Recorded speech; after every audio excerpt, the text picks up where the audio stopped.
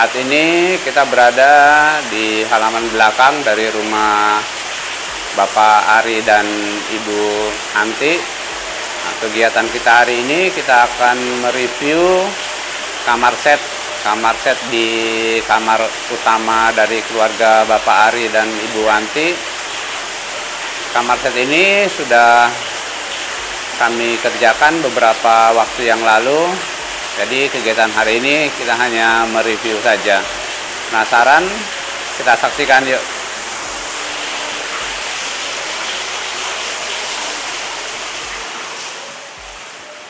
Assalamualaikum, ketemu lagi di channel Mebel Warna Jogja. Nah sekarang kita sudah berada di kamar tidur utama dari keluarga Bapak Ari dan Ibu Anti. Kamar ini seperti tadi sudah kami sebutkan. Kamar ini sudah kami kerjakan beberapa waktu yang lalu dan tentunya desain dan konsepnya itu langsung dari Bapak Ari dan Ibu Anti sendiri. Hari ini Pak Ari akan mereview mengenai konsep di kamar tidur di kamar tidur utama di rumah beliau ini.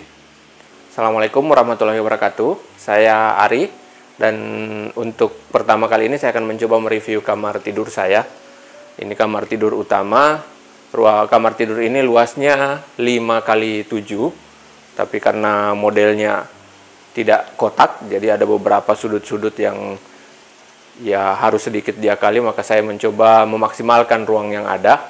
Dari sini ini kamar tidurnya saya tempatkan di mepet sebelah tembok, jadi dia berfungsi bisa diakses dari dua arah dan kalau kita ke arah sini ini jendela ini arahnya menghadap ke timur. Jadi untuk pagi itu sekitar pukul 6 sudah cahaya matahari sudah masuk dengan baik ke ruang tidur ini. Jadi kita sedikit agak terbantu dengan cahaya matahari.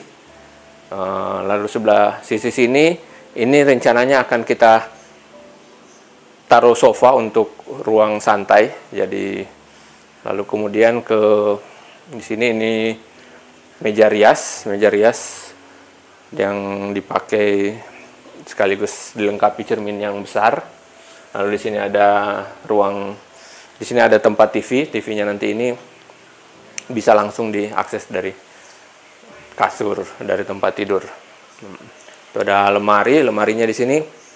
Ini ada lemari, lemarinya ada dua, lemari yang di sisi sini satu, lalu ada juga lemari yang di sini yang tinggi untuk menyimpan barang-barang termasuk yang di atas-atasnya ini koper untuk koper dan barang-barang yang agak jarang untuk dipakai.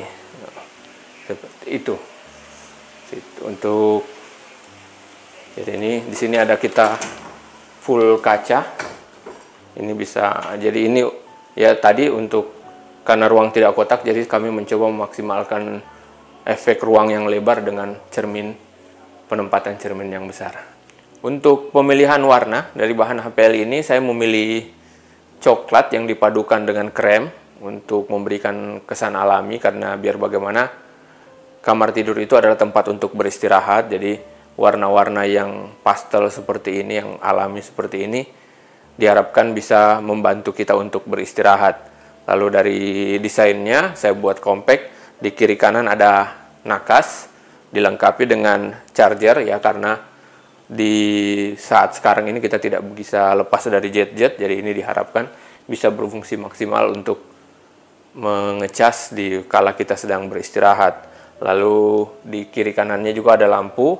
Lampu ini berfungsi untuk kalau dalam keadaan mati ini untuk berfungsi sebagai lampu tidur. Lalu ini untuk lampu baca.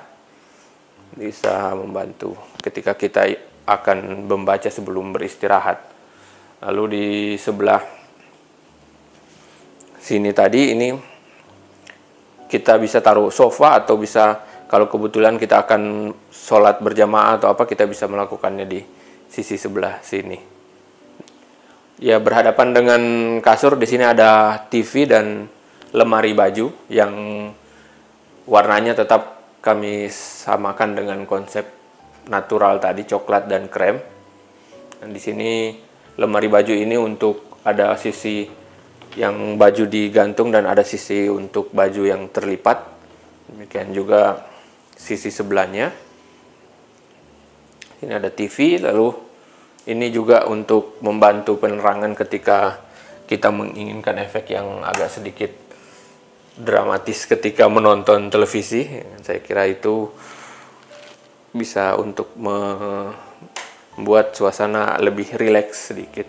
Lalu di sisi sebelah sini ada lemari build up yang memang saya bikin, saya desain untuk full dari bawah sampai ke atas. Nah, di, di sini di depannya di bagian bawah kita kasih full kaca supaya selain menambah selain buat bercermin kita bisa untuk menambah efek dari luasnya ruangan jadi terus untuk yang sisi atas ini kalau yang di bawah ini untuk baju-baju tapi yang untuk yang di atas ini ini adalah barang-barang yang agak jarang untuk digunakan dipakai seperti bed cover, koper-koper dan seperti itu Nah, untuk warnanya ini kita pilih putih karena konsepnya tadi dia build up jadi berbeda dengan yang sisi ruang lain. Jadi di sini agak sedikit menyatu dengan dinding rumah yang berwarna putih.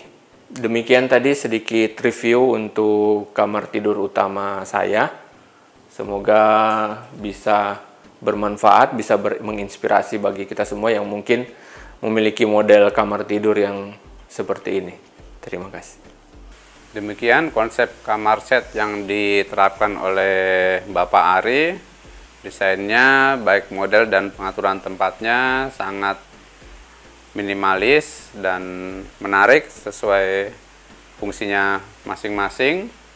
Terima kasih banyak kepada Bapak Ari dan Ibu Anti sekeluarga yang sudah mempercayakan pengerjaan kamar set di kamar utama ini di Mebel Warna Jogja. Saksikan terus video dari kami selanjutnya.